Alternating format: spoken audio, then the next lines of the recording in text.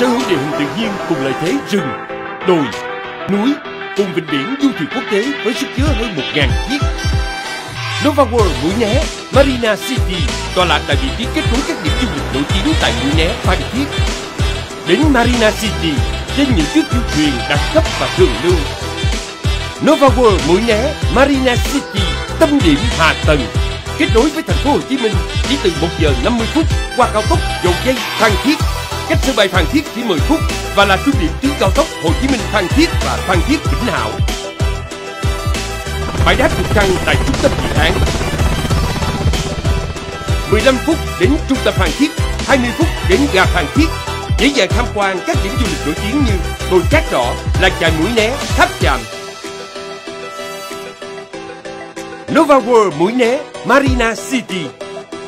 Thành phố Vịnh Du Thuyền, điểm đến quốc tế